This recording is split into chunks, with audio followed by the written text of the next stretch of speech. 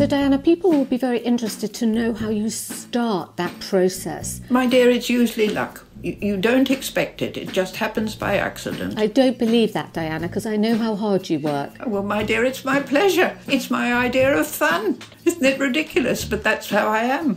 Welcome to If Jewels Could Talk. I'm Carol Woolton, the voice of jewellery, an author, broadcaster, and the woman who initiated the role of jewellery editor at magazines like Tatler and British Vogue. This is a podcast for everyone for people who do like jewellery, for people who don't realise they like jewellery, and anyone intrigued by fascinating facts, new ideas, and forgotten histories. So please join me as I tell sparkly tales, meeting all sorts of people, delving into four centuries of jewellery culture, and investigate what's happening now. I'm lucky enough today to be talking to the jewellery academic, Diana Scarisbrick. She's one of my personal heroines. She's a one woman walking encyclopedia on the subject. She's an author, curator, specialist in neoclassical gems, who's used her training as a historian from Oxford to explain the cultural, social, and political significance of jewellery. And over a 50 year career, she's written over 21 books and catalogues, including definitive works such as Rings, Jewellery, Power and Love and Loyalty, and most recently, Diamonds 700 Years of Glory and Glamour. She's accrued this vast knowledge from intensive study and research, as well as actually possessing the objects. She's amassed a collection herself of Renaissance, 17th, and 18th century rings. And in her 92nd year, she continues to work as hard as ever. So I'm very happy she found time in her schedule for us today. Welcome, Diana.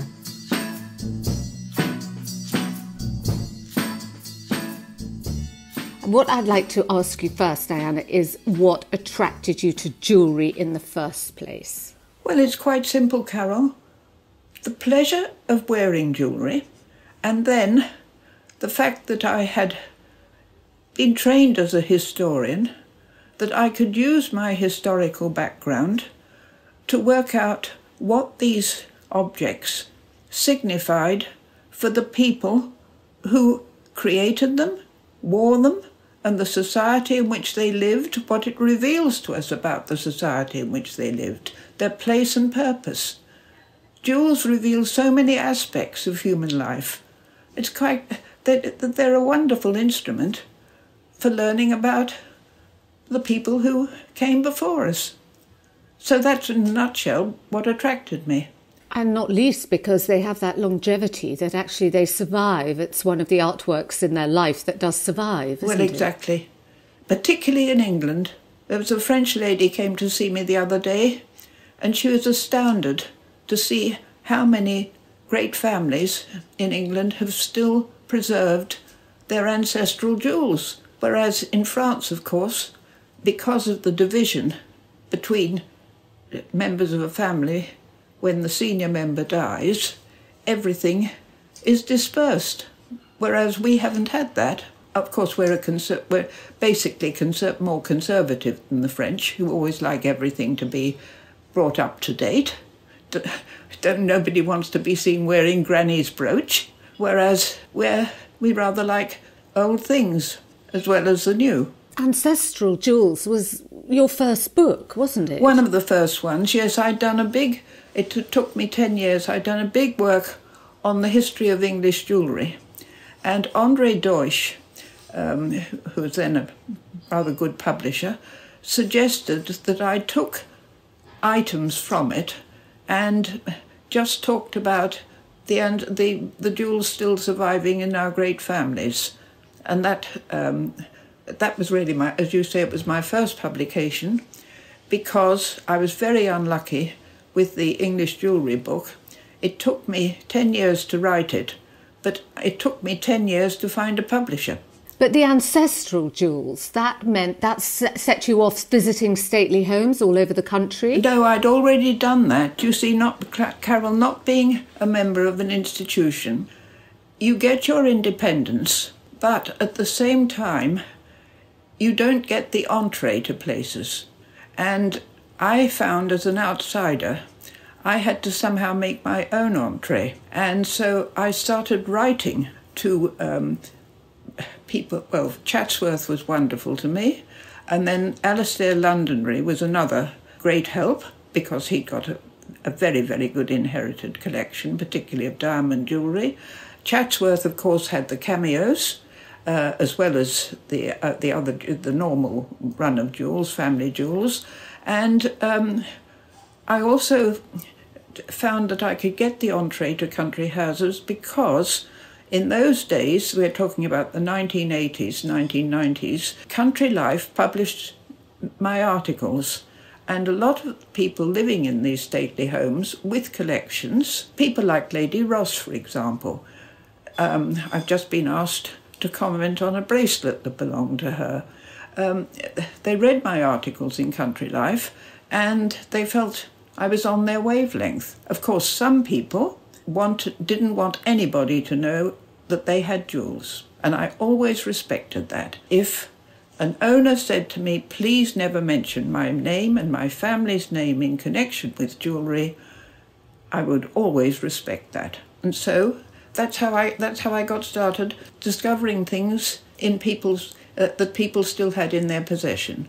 And I know Sotheby's are having this exhibition, well, ex- uh, selling exhibition of 400 Mountbatten jewels. And one of the first people I approached was Patricia Brabourne, whose things are being sold now, Countess Mountbatten. And she responded immediately to a letter from me. And she took, I remember she took me to Coutts's Bank in those days in Piccadilly, and they opened the vaults and there uh, she showed me all the Mountbatten Fabergé she'd inherited. I mean, some people were absolutely marvellous. And I remember at Chatsworth, I once said to Debo Devonshire how grateful I was for the access they gave me. And she looked at me with astonishment and she said, But my dear Diana, Andrew and I consider we are so lucky to be looking after these things that the very least we can do is share them with people like you. That was the attitude. So kind and so willing to help one in one's chosen path. And Carol, you've chosen the same path, so you know how thrilling it was for me. It's very thrilling, and also that people have the same view as you, that they're mm. looking at it as an artwork. Exactly. Uh, it's not bling, it's not to show off, you know, like those women you see getting into the first class uh, compartment of an aeroplane uh, with these great, great knuckle dusters showing how successful they've been with their gentlemen friends. Uh, that is nothing to. It's not like that at all. And you also catalogued the Spencer jewellery, didn't you? That's right. And Wellington gems. So you certainly um, know the ancestral jewels inside out. well, of course, Spencer was so fascinating because there I made one of my discoveries because they were, in the days of um, Raine Spencer, uh, she and a very nice husband um, wanted to live like lords and ladies. And the revenues just weren't there, so they decided that they would sell a lot of things that um, they felt that they could dispense with. And there were some cameos and some jewels. And one of the cameos was catalogued as a sleeping dog. And as I like cameos, when this came up for sale at S.J. Phillips, I said, I think I'll have that. Didn't know what it was. And then one day I was looking in one of my books and I found a picture of this animal.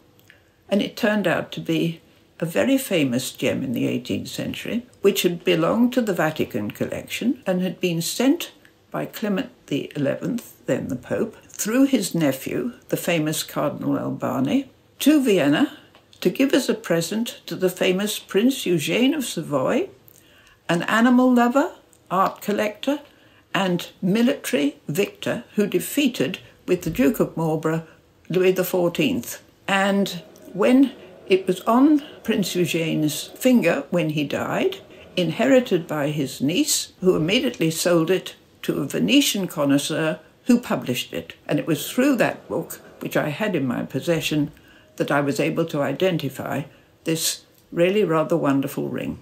It's, it's so thrilling when you make these kind of discoveries, and usually you make them on behalf of other people, but to do it on behalf of myself was really very gratifying, Carol. Do you think they regretted that sale? I have no idea. If they regret it, I can understand them because there were some really lovely things. So lovely things that actually um, Princess Diana should have inherited. Well, they've got a connection with her, of course, because you know it's her family. But I think you see the whole the reason why they had this collection is because they hadn't really been distributed with each generation. They were just kept there in the strong room. And then Raine and Johnny decided that they wanted to raise the cash and the contents of the strong room were dispersed. I don't think, I mean, they've still got the tiara that um, the princess wore uh, on her wedding day. Um, they've got another tiara that has been traditionally believed to have belonged to Marie Antoinette, but I found several others like that. And um, I don't think, in fact, although it, that tiara has been shown at exhibitions, I think when one produces the information of the other ones of that design, the connection with Marie Antoinette will be very difficult to uphold. You know, legends get attached to jewels that aren't really justified in the fact if you look into things. That's why you have to be so careful about provenance. It gives an added interest when it's true, when it can be justified. But so often when you delve into it, it's just make believe. Just what people want to believe, and of course, it helps with the romance of the jewel. Yes, because it does give an extra dimension to your appreciation of a subject of, of an object to know that it, in fact, did have it did have an, was associated with some illustrious or famous person. It's only human nature. So, Diana, people will be very interested to know how you start that process. My dear, it's usually luck. You, you don't expect it, it just happens by accident. I don't believe that, Diana, because I know how hard you work. Oh, well, my dear, it's my pleasure. you know, it's my idea of fun. Isn't it ridiculous? But that's how I am. And so, really, it's by looking at um, documentations, by wills, ledgers. Having a good library, mm-hmm. and, you know, just not leaving the books on your shelves or the documents in drawers, but actually perusing them and suddenly something rings a bell. But it's got to be a good object. And you have to have a memory. You have a very sharp memory because you remember every jewel, portrait, ledger that you've ever seen, don't you? Well, I hope so. but I've seen an awful lot of, of, in my um, in my life because I'm, as you know, 92 now, and I've been at this, you know, since I was about uh, for about 50 years. So it's half a century of looking, isn't it? And I think you, you said to me once that um, it was cataloguing the Devonshire parure. That's right. That really sparked your your love of cameos and intaglios. Oh, definitely. You see, Carol, they had the best. They've still got the best. I mean, it is a lovely ancestral collection. And the extraordinary thing is, there are three of them in England, still undispersed. The one at Chatsworth, which, as you know, I've been involved in, a lovely one, some exquisite things at Alnwick Castle, belonging to the Duke of Northumberland, and which he was kind enough to lend me for an exhibition of cameos I did in Japan, because the Japanese love small objects and I do a lot of work for Japan. And um, about 10 years ago, they wanted to do an exhibition of cameos, and the Northumberlands were incredibly kind and let me borrow their things. And I remember the very nice but rather superior curator from the Cabinet des Médailles, which is the French national collection of cameos. She looked at me when she visited the exhibition, because I borrowed from her too, and she said, these things are really exquisite. And I thought, yes, and they're still in English private hands. And the third one belongs to the uh, Earl of Yarborough, uh, who inherited it, and he has also lovely things chosen for his ancestor by the great Sir William Hamilton, who had the best taste for antiquities that any Englishman has ever had since the first the first one to collect and, uh, the cameos, Lord Arundel. After that comes William Hamilton. and his taste was he was our ambassador at Naples, so he was very much on the spot to get anything that came onto the market from great Italian families or even dug up from the ground of Italy. So we're very lucky to have those three collections, and I've been very privileged to have the chance of working on them. Can you describe the Devonshire one? The Devonshire one? Mm. Well, um, there's a very, very interesting. I mean, there were ones of Roman emperors. Um, well, the famous one, of course, worn by in the 19th century by the Duchesses of Devonshire uh, in the centre of a bandeau, uh, which is an exquisite cornelian intaglio that is signed by the greatest master of, of the ancient Roman Empire, um, who is called Dioscorides, Greek origin, um, and it's of the um, stealing of the Palladium, which is the statue, the sacred statue of Minerva, um, by a man called Diomedes, and it's just so magnificently the total economy of line. It tells the whole story with the minimum, uh, the minimum of effort, if you like. It's just it's just a brilliant piece of draftsmanship on this hard material that survived because it's a hard stone, the cornelian. It survived the first century BC AD, the the rule of Augustus. That's one of the great things that they've got. But they've got not just cornelians, and but they've got engraved emeralds, engraved sapphires. They've got a whole series of royal Tudor portraits. This is multi-layered cameos depicting Henry VIII with his children, Henry VIII just with Edward VI, Edward VI on his own.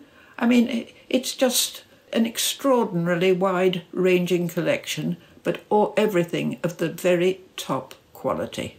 Because the second Duke, who was collecting these things, the English had money then, and they could afford the best.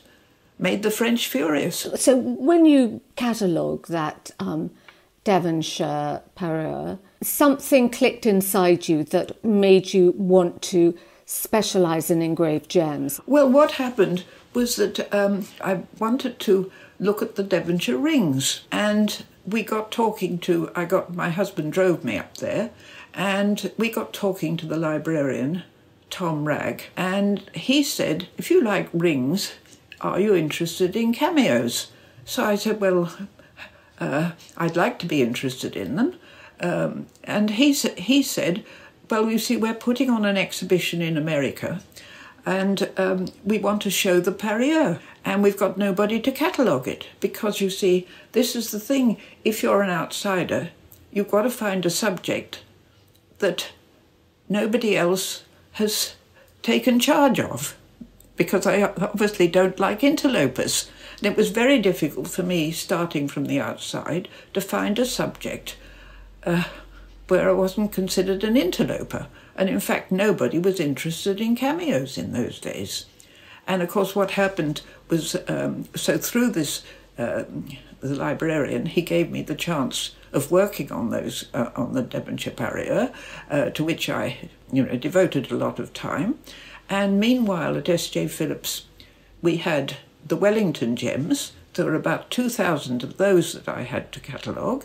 And before that, um, in 1977, that was quite early, um, S.J. Phillips had got uh, the Harari collection, which was rings as well as gems. And it was really doing the Harari collection in collaboration with Professor John Boardman, who had who was the great expert on Roman and Greek gem engraving, uh, that I got initiated into gems. And so, of course, when I went to Chatsworth, um, a bit late, a few years later, I'd already been working on the Harari collection, uh, the post-classical. You see, John did the um, the Greek and Roman ones, and I did the medieval and later ones, and that's how I sort of, you know, got to grips with the subject.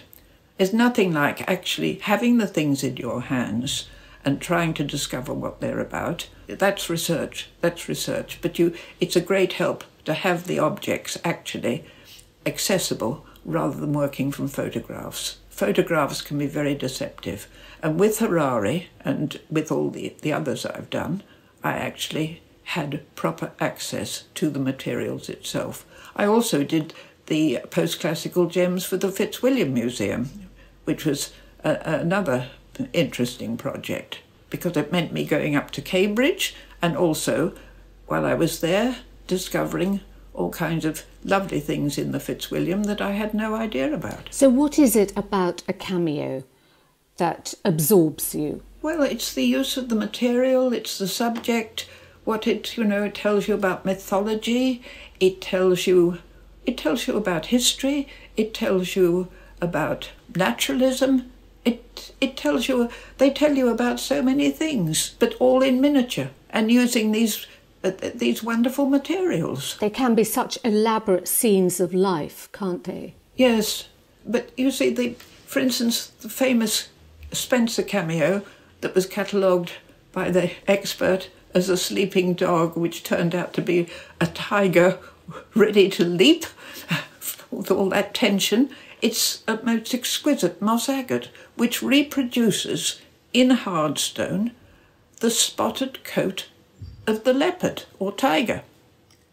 It's so realistic. So, when looking at cameos, you should really, if anybody was a, an amateur looking around, they should look for exquisite detail. Definitely, because you can get it. That's the whole point of, of something that's in miniature. You do get it's like the painted miniatures. The detail is there. If you want to learn about jewellery, you learn far more from a miniaturist than you will from um, a, a painter on a larger scale. At least that's what I've always discovered. A miniaturist has an eye for detail. And so, how does an amateur tell if it's a, a good cameo? Well, dearest Carol, there's only one way. If your eye has got used to the best, it will know the best. And if it's just been looking at mediocrities and banalities, it won't be able to distinguish the best from the also rans. And most things, let's face it, come into the category of also ran. So they have to live in museums for a few years before they go out gem collecting. Well, so as I've told you, there are these three great collections in England which are in, still in private hands and not in museums, which I think is, throws great credit on how things still are in England. That not everything has to be institutionalised. And also, we wouldn't have an art market if everything was in museums. And you see, it's this accessibility that's so important. I don't like looking at things through glass cases, and that's unfortunately how it is with museums. You can own, you can learn so much, but not the complete picture. That's why the sale rooms are so helpful, because when you have when they have things for sale, there are views. I mean, I'm not talking about lockdown now, but uh, for years they've offered a free schooling, if you like. Yes, I think that's um, a very good place for people to look and learn. Yes. Um, because obviously, as you say, it's impossible to handle these things. I think, you know, you described it to me once um, when you started out the um, the atmosphere at the time in London, and you said really everything was up for sale, and so you spent your time antiquing in an- these antique shops. Well, London was full of them because everything was up for sale. If you think of Jermyn Street, Pimlico Road, um, what's it called in uh, in Kensington, that was just amazing, and there were sales all the time. And Bond Street was full of antique shops. So it was a much easier time to actually handle objects. Handle objects, get to know them, and in fact, there were so many that, well, you know, uh, they were much more accessible, and the antique dealers' fairs were crowded, and people would queue up to go into them, and not just new rich, but professional people who had a taste for collecting, which I think is a very civilized way of spending your money and passing your time because you can learn from them. But these things are rare, and there are not many on the market now, are there? the market has dried up. Goodness knows what it's going to be like when we emerge from this present lockdown. But obviously, so many businesses are undercapitalised, and I don't think they've been able to afford to carry on. And rents, are, rents of course, are, are, are very high. But we'll see. I'm just hoping that there won't be too much of a wreck, because for me, the art market is a very important part of London, of London life. But I suppose, I mean, each period becomes quite sought after. Well, that's right. Even the 50s, you see. And I was reading the other day that uh, somebody's writing about jewellery of the 70s, which, I mean, it'll all, it, it's a very good, very good idea to, um, but of course, it's so much easier now because everything is recorded. You know, there are all these magazines, um, articles are written about contemporary jewellery. Um, Goldsmiths Hall has had uh, has been collect has been collecting it, so it'll be much easier for the future historians. But then everything will be written about. Yes. So they've got to find their new subject. Exactly, exactly. But it's such a it's such a vast world. I'm sure people will find will, will, find their niche. For you, what do you think is the greatest period of jewellery creation? Well, it's the 18th century because people weren't frightened of displaying it. I won't say, I mean, of course, there were highwaymen and things, but it was just a matter of course that you had good jewellery. And they were always bringing their jewellery up to date, but it's got a finesse. 18th century jewellery has got a finesse and a delicatesse that you won't find in any other period. It's got a refinement, and with that refinement comes what I call a beauty. And so that's really my favourite period, though of course I love the Renaissance because it's inspired by classical antiquity.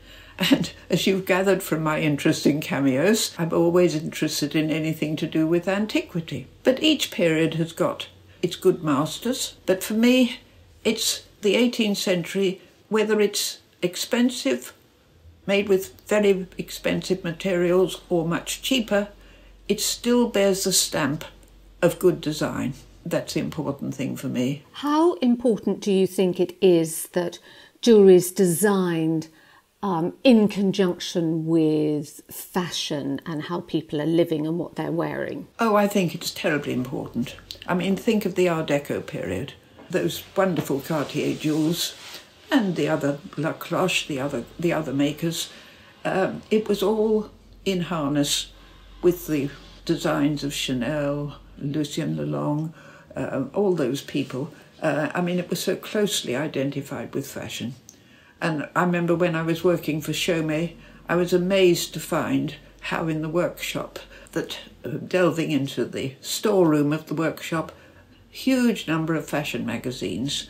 The people who were designing, certainly in the 50s and 60s, were very aware of current fashion. It was a kind of partnership. And that's the wonderful thing about French jewellery, you see, because the French were the creators of fashion in those days, and because fashion really existed, couture and so on.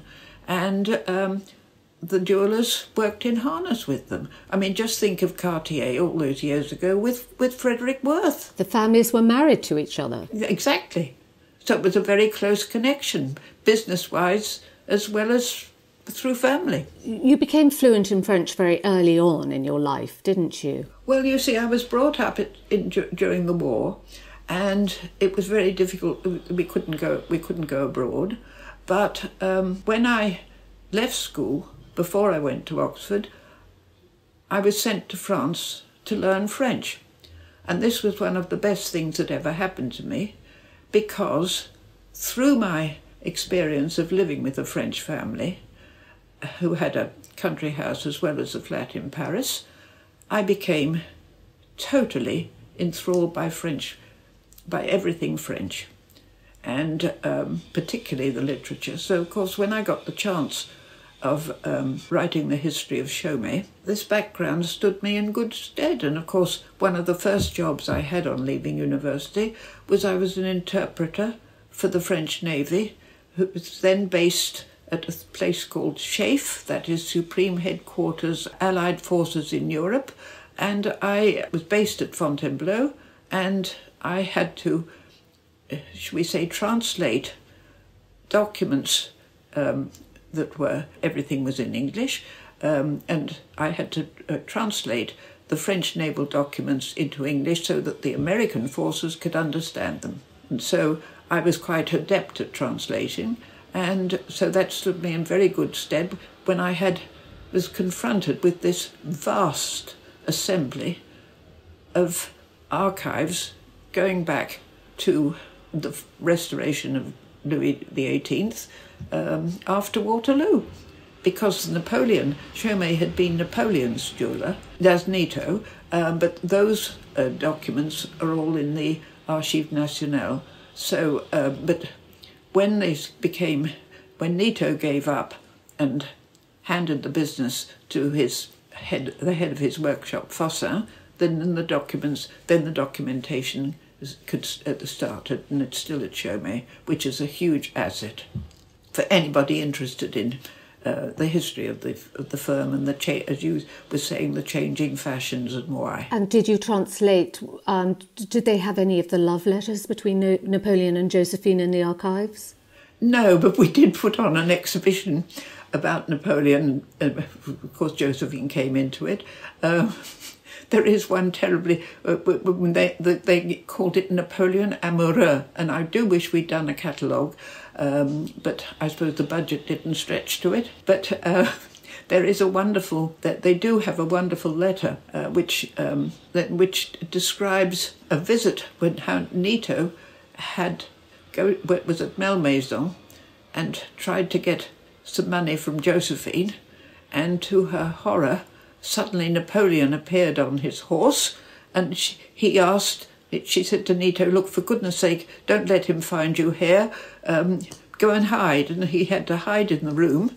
Uh, whereupon Napoleon arrived, and there was a, a love, a, as one would imagine, a love scene ensued, and poor Nitot uh, was was there in hiding, terrified that the emperor would find him. But anyhow, he he, he, didn't take long, and as soon as he'd gone, Josephine rescued him, and somehow she managed to get the money for him. Funny.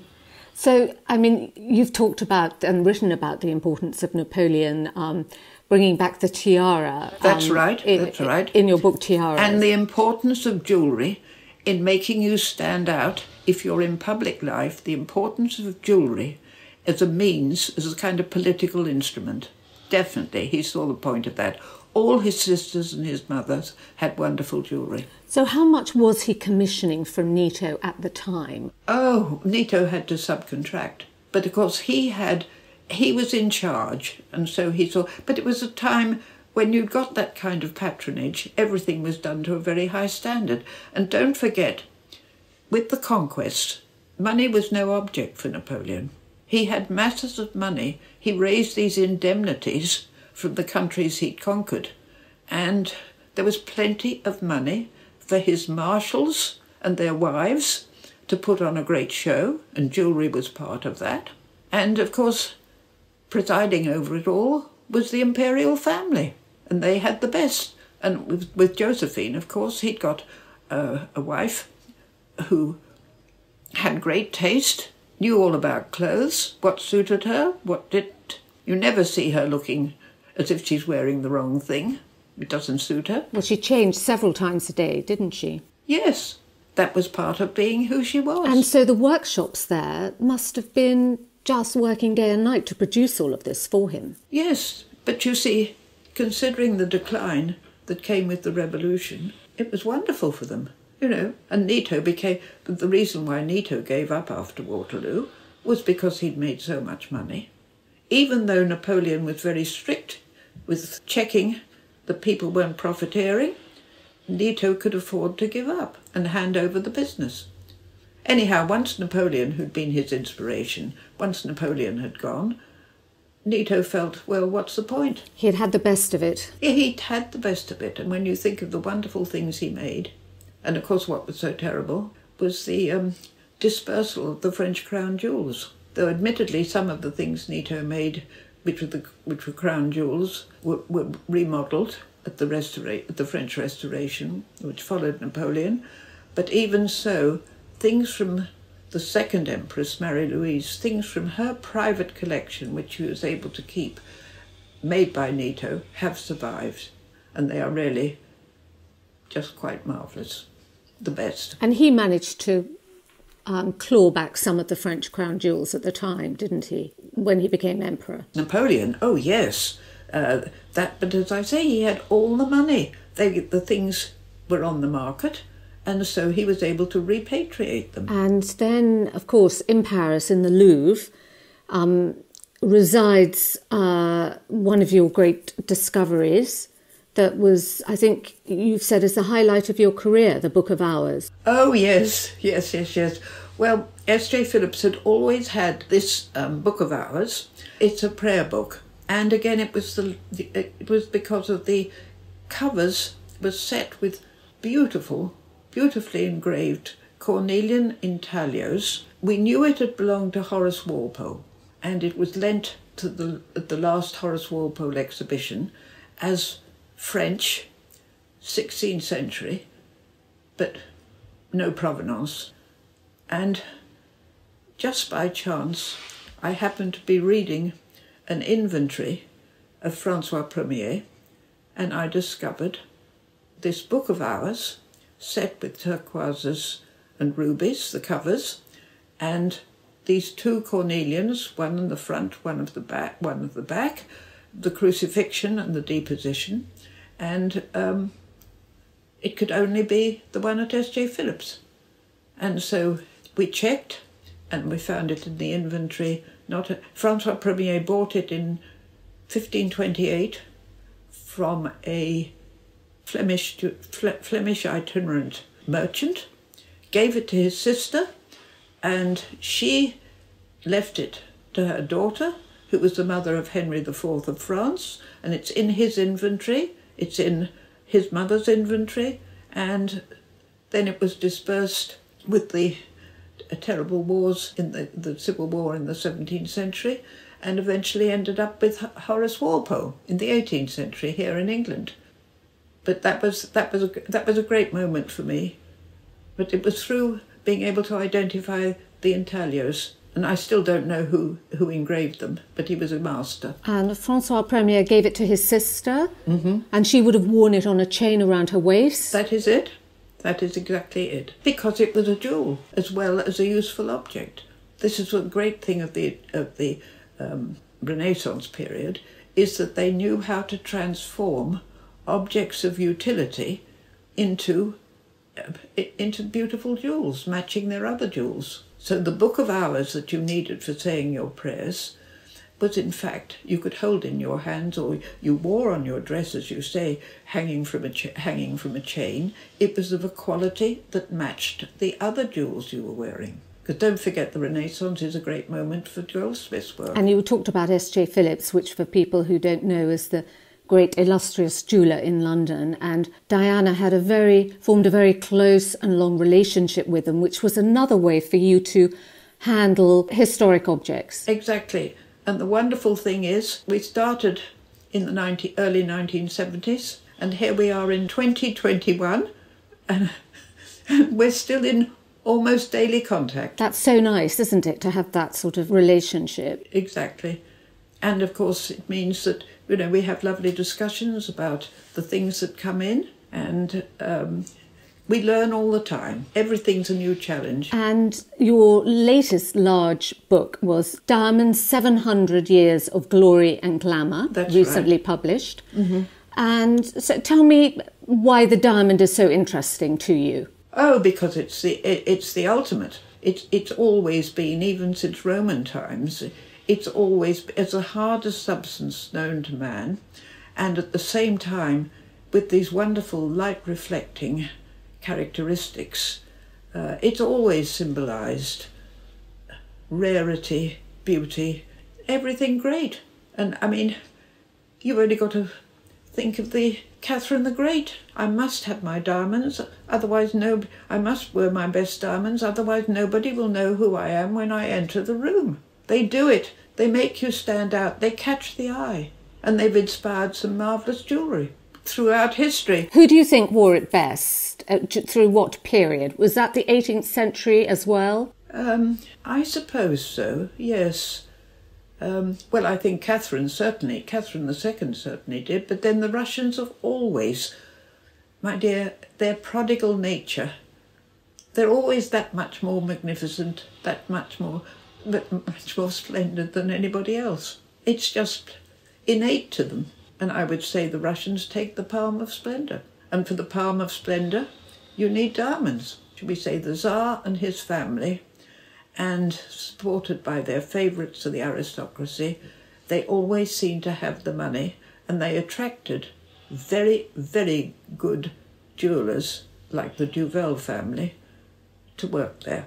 And the great thing about the Russian jewels is that they weren't dispersed until 1937, I think it was, a syndicate uh, with the revolution. But they were always there, from Catherine the Great onwards, as part of the crown treasure. So you, that's why you've still got wonderful examples of 18th century Russian jewellery, which really was the best. So the British crown jewellery remains the best simply because it's still worn, not because they're the most magnificent pieces. No, it's the, the trouble is there's so many Victorian pieces which have got that English characteristic of solidity and massiveness.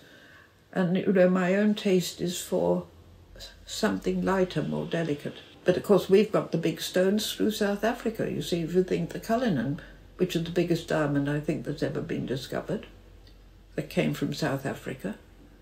And then they've got the uh, diamonds given by the Indian princes, who did things in a princely way, which of course were gifts to Queen Victoria.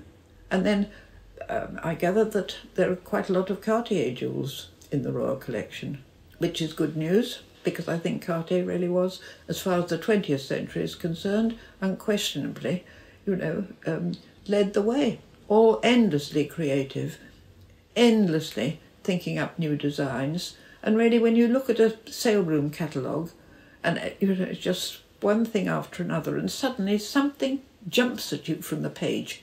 And very often it turns out to be a Cartier piece. And so it's very good news that the Royal Collection includes quite a lot of Cartier. Do you think there's anyone in modern life now that you see that you think wears jewellery very well?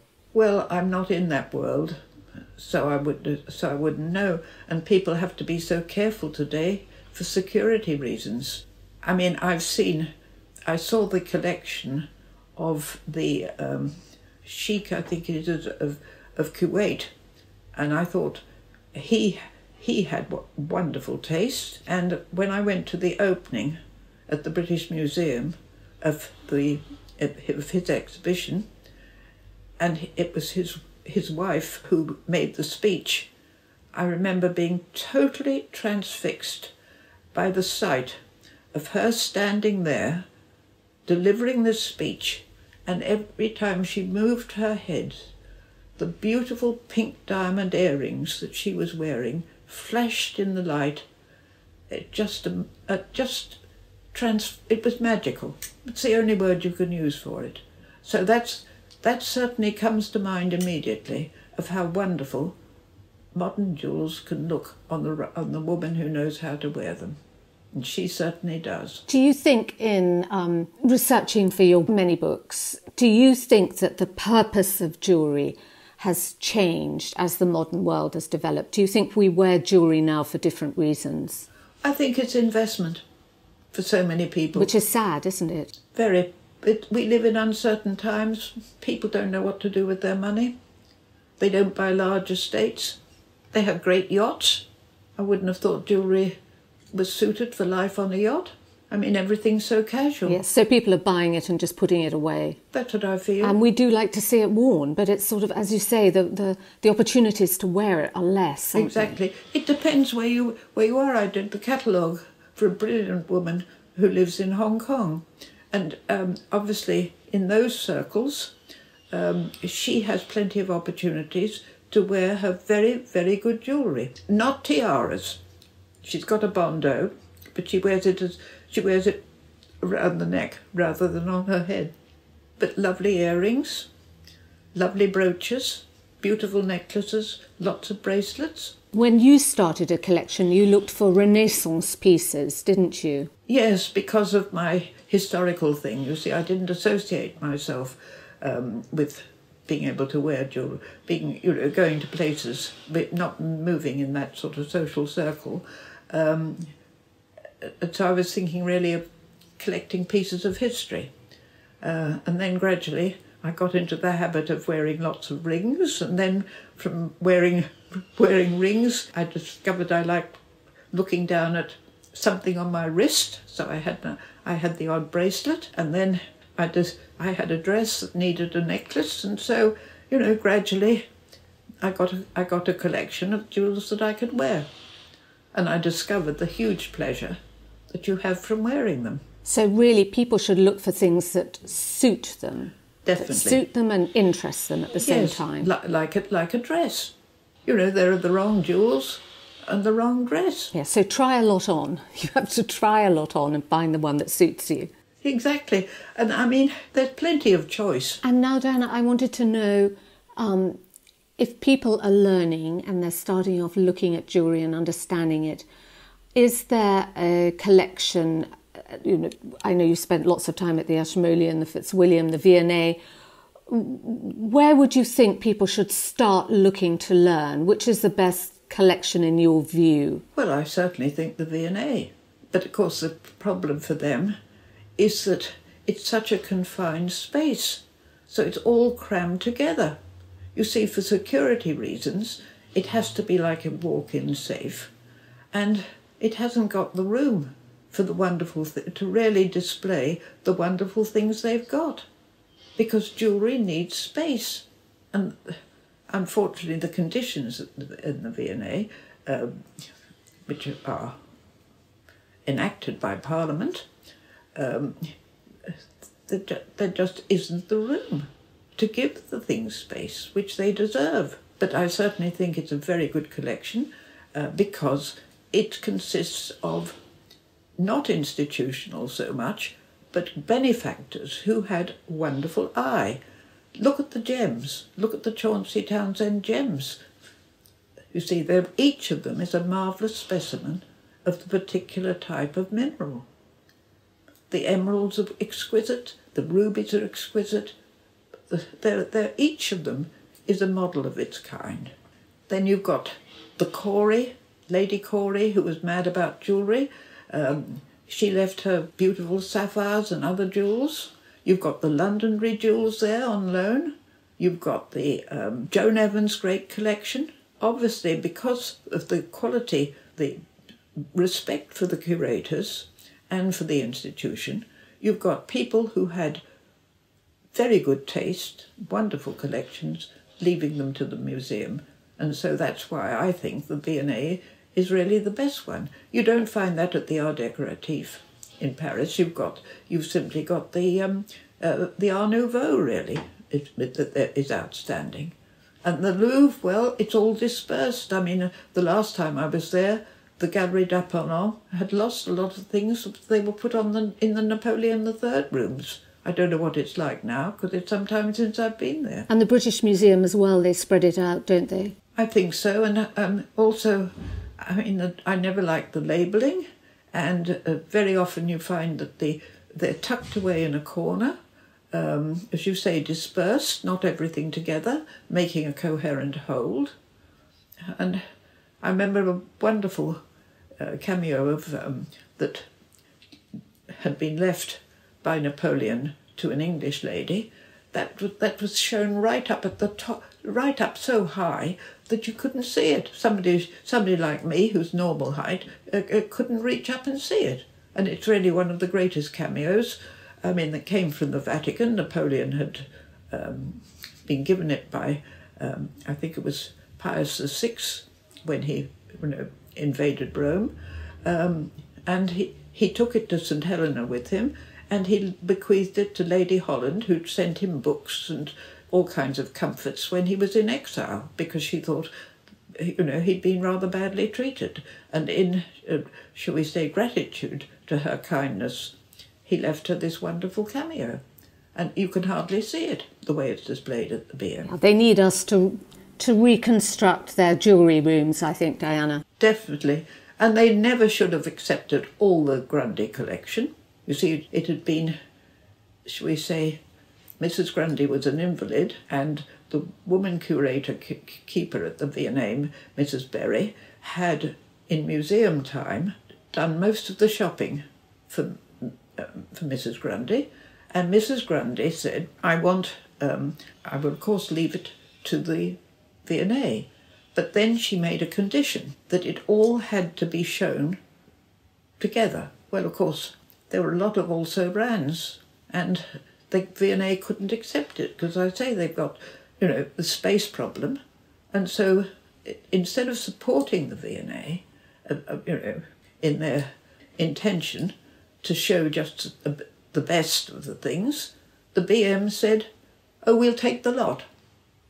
And so you've got good things as well as bad things, which I think is, a, and I think that they should have supported um, they should have supported Mrs. Bury. Anyhow, my dear, it's all water under the bridge. But I think when you talk about the height of things, that's what the V&A have done so well with um, Queen Victoria's coronet that mm-hmm. they recently saved for the nation, and, and they've displayed it as at the height that Queen Victoria would have worn it. That is, you are quite right there. And of course, the curator, Richard Edgcumbe, whom I've known since he was at Oxford in 1975, Richard um, it, it's a, a, most dedicated person, and God knows what will happen when he retires, because there will be nobody who can equal his dedication. No, I agree with that. I agree with that. But Diana, no one can equal your dedication to the subject of jewellery, and you've given us so much to think about and so many wonderful books to read. Well, um, how nice of you to say so. but it's all been my pleasure. And we love hearing you, and thank you so much for sharing some of your jewellery stories with us.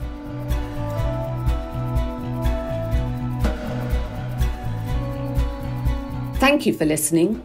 For more information about this and other episodes of If Jewels Could Talk, please go to our website, carolwoolton.com slash podcasts. And if you liked it, please share it any way you can You'll find us on Instagram where you can view images of the jewellery we talk about.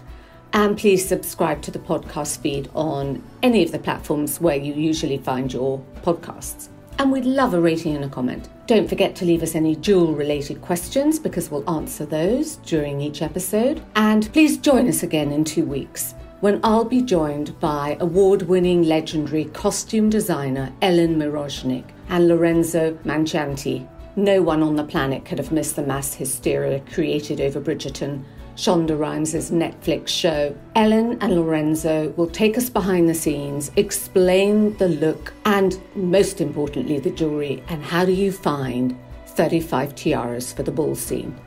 Please join us then for our next Jeweled Nugget. Goodbye. If Jewels Could Talk with Carol Woolton is produced by Natasha Cowan, music and editing by Tim Thornton, graphics by Scott Bentley, illustration by Jordi Labanda, and you can find me on Instagram at Carol Woolton.